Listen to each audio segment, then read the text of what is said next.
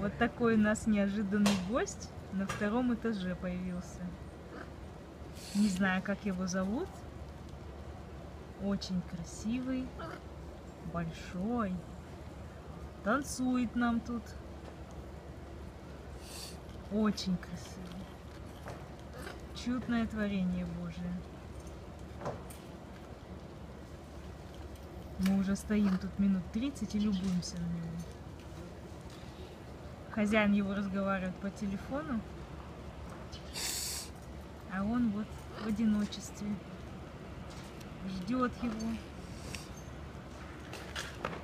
Хотим с ним сфотографироваться, ждем, пока хозяин закончит разговаривать по телефону. Так что мы тоже ждем. Ну вот так вот.